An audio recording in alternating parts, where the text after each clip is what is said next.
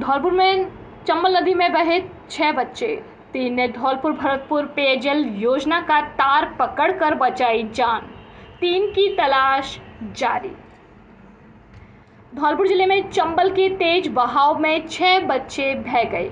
सभी बच्चे पहाड़ वाले बाबा के उर्स में शामिल होने के लिए आए थे।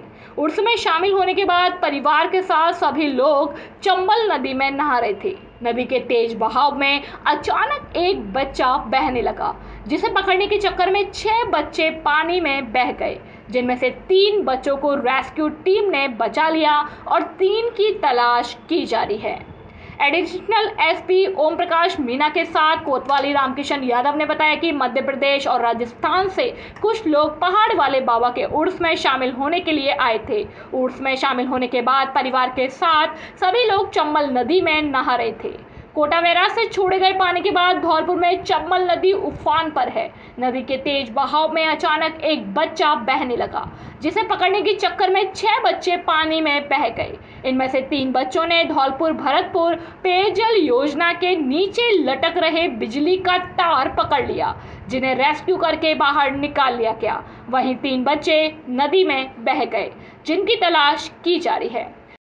मौके पर एडिशनल एसपी ओम प्रकाश मीणा के साथ कोतवाल, रामकिशन, यादव लगातार सर्च लगातार सर्च चलाए हुए हैं। ग्वालियर, मुरैना और धौलपुर के रहने वाले हैं बच्चे। घटना के बाद परिजनों से बातचीत करते हुए एएसपी ओम प्रकाश मीणा ने बताया कि बिजली की केवल पकड़कर बचाए गए तीन बच्चे सहजाद उम्र 18 साल, निवासी ग्वालियर, गोलू उम्र 16 साल, निवासी धौलपुर और इरशाद उम्र 18 साल निवासी मुरैना को सकुशल बाहर निकाल लिया गया, जबकि नदी के तेज बहाव में मुबारक उम्र 19 पुत्र अली निवासी ग्वालियर, लकी उम्र 16 साल पुत्र निसार निवासी पुराना शहर और सूफियाना उम्र 18 साल पुत्र समीर निवासी बाड़ी बह गए हैं, जिनकी तलाश के लिए रेस्क्यू ऑपरेशन चलाया जा रहा है। पानी की मोटर के लिए डाली गई बिजली की केबल पकड़कर बचाई जान।